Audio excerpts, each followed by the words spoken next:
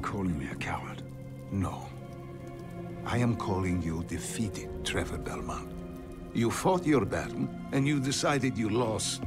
Imagine having your entire family wiped out before you hit puberty. An entire country betraying you all at once. Ostracized by the very people you swore to protect and defend. This is the story of Trevor Belmont, a man who was born into a castle and part of a family lineage that stretched back hundreds of years, but spent most of his life sleeping under trees and living in complete solitude.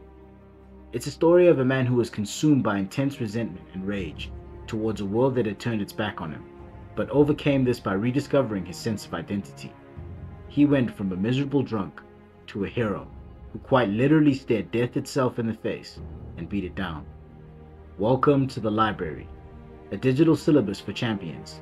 My name is Donnie, and today I will be dissecting the backstory, character arcs, and psychology of Trevor Belmont, the last monster hunter. Castlevania, in a lot of ways, is a story about people finding purpose through harsh times. In a world where there are vampires, night creatures, sorcerers, and corrupt priests, the only way to endure through it all, it seems, is to have a strong mission that you are trying to accomplish. Something to give meaning to the madness.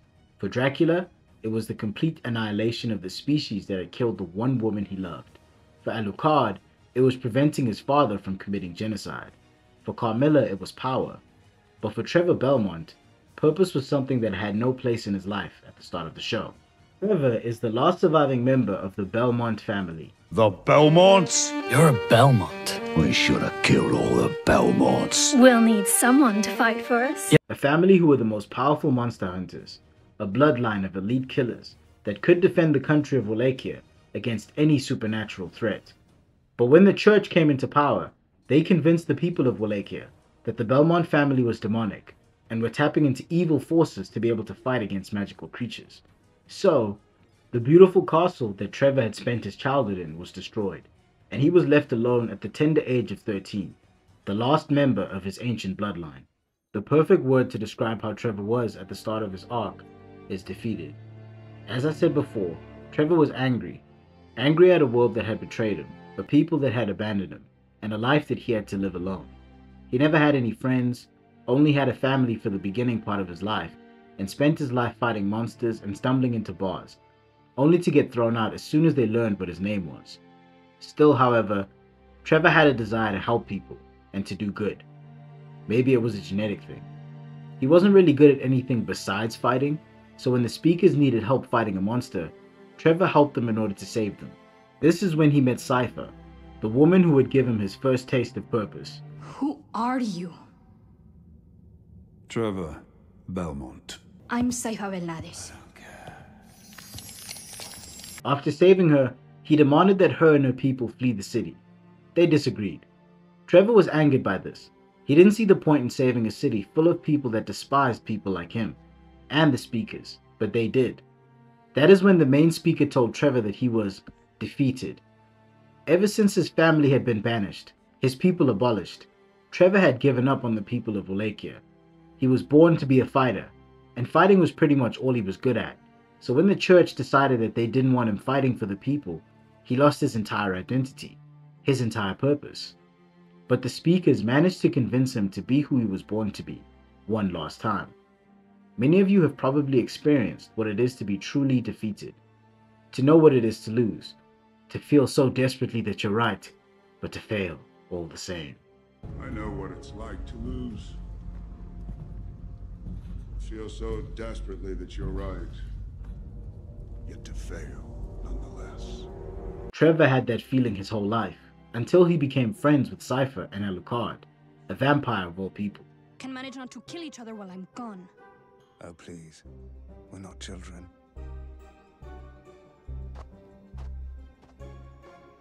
He shouldn't die. Yes, fuck you. Through his time spent with Alucard and Sypha, Trevor discovered for the first time in his life what it is to have companions, to have partners, people who you can count on and who count on you. Dracula taught a human woman how to be a doctor. what was first? Bloodletting? God, you still think you're funny. Even though him and Alucard hated each other at the start, on account of their families being ancient rivals, they grew to respect and even care for one another. I'm disturbed to find that I had more of a childhood than you did. And your dad's fucking Dracula. What? He also began to care for Sypha, someone who is the polar opposite to Trevor. Treffy? Oh my god, no. You are Treffy now. Don't. Trevor is descended from royalty and grew up in a castle. Sypha is a nomad and grew up sleeping in tents and wagons. Trevor lived most of his life alone. Sypha spent all of her life surrounded by over a dozen people that were a part of her culture. So at first, Trevor misunderstands Sypha's loneliness, but she perfectly understands how sad and miserable the monster hunter is. Am I really sad? All the time. You don't even notice it now. It's just how you are. Trevor had been at rock bottom for so long that he forgot what it was like to even be happy and have any sort of joy in his life.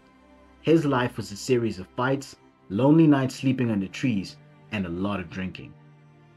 And that man there has beer. At the end of season 2, Sypha asks Trevor to travel with her. Trevor himself says that Sypha is the closest thing that he's ever had to a friend, and is happy, but also shocked that she wants him to be with her. They set off, and have many adventures together, sleeping in a wagon and fighting against magical creatures of all sorts.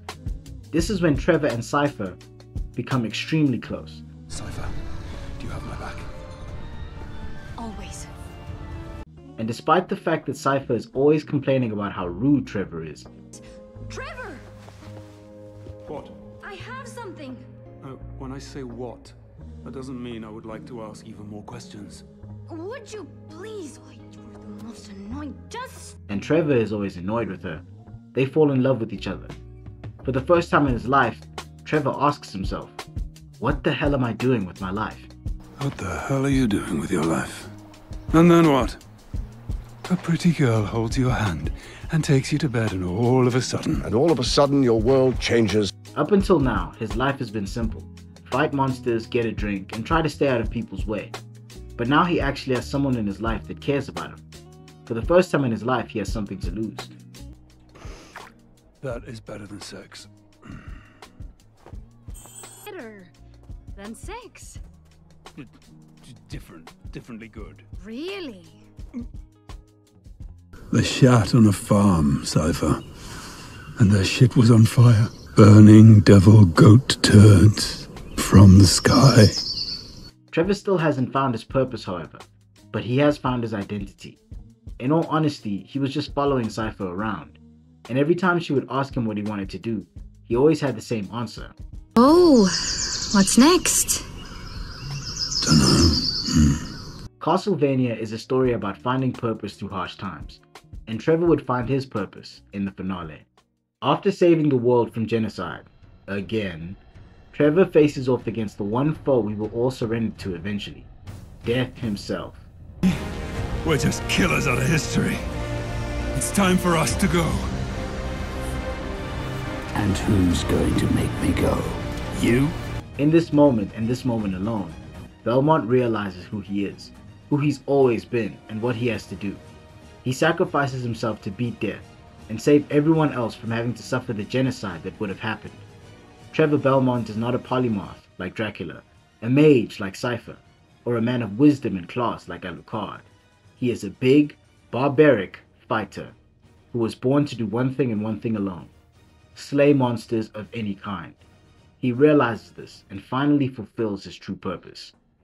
If you are struggling with the same thing, or at a stage of life where you feel like you are defeated and at rock bottom, you probably won't meet an Alucard or a Sypha. But what you can do is ask yourself an important question Who am I, and what am I put here to do? By finding purpose and meaning within the harsh times of life, you can persevere and conquer through anything that stands in your way. Thank you for watching. I know you will make it through this.